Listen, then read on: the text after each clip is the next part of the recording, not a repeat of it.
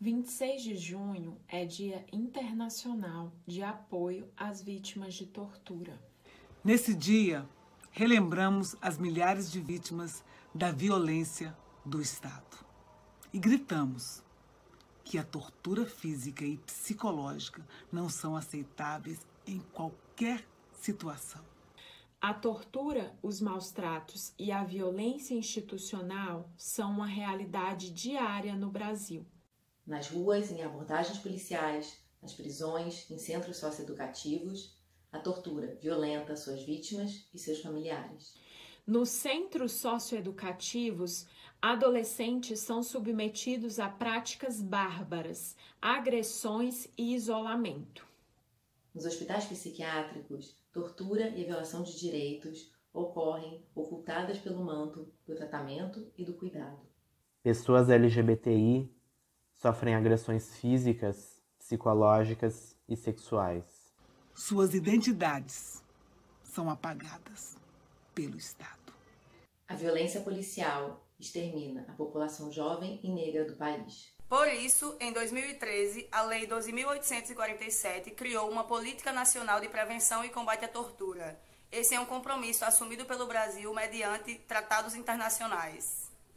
Essa lei criou o Comitê Nacional de Prevenção e Combate à Tortura, um colegiado formado pela sociedade civil e pelo governo para o enfrentamento da tortura no país. A lei criou também o Mecanismo Nacional de Prevenção e Combate à Tortura, com 11 peritos e peritas que podem vistoriar qualquer espaço de privação de liberdade em apenas seis anos de existência, o mecanismo já inspecionou dezenas de hospitais psiquiátricos, comunidades terapêuticas, prisões, unidades socioeducativas e instituições de longa permanência para idosos, com a função de fiscalizar e averiguar possíveis violações aos direitos humanos. Esse sistema de prevenção e combate à tortura faz parte de um sistema internacional de proteção dos direitos humanos criado a partir da assinatura do protocolo facultativo à Convenção contra a Tortura. Mas, infelizmente, estamos retrocedendo. O Estado brasileiro tem atacado essa política, retirando funcionários, criando burocracias que atrasam o trabalho e emitindo decretos que querem acabar com esse trabalho. Em 2019, durante a gestão Bolsonaro, o governo federal emitiu o decreto 9831, que na prática retira os recursos de fiscalização usados para combater a tortura no país. Ao mesmo tempo, o governo tenta barrar o trabalho da sociedade civil e assim ficar livre para se omitir da sua responsabilidade. A situação é tão grave que o Subcomitê de Prevenção à Tortura da ONU já afirmou publicamente que o Estado brasileiro feria as obrigações que assumiu perante a comunidade internacional.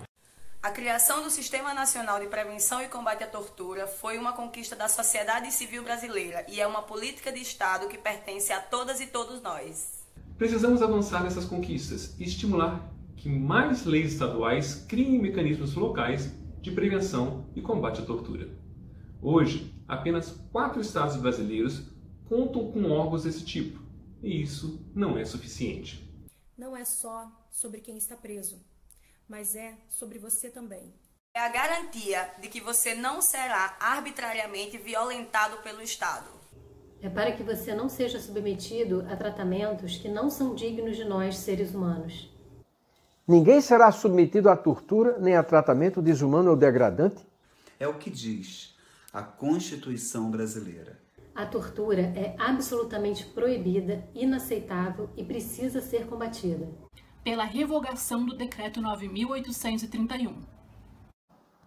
Pelo fortalecimento do Sistema Nacional de Prevenção e Combate à Tortura. Tortura nunca mais.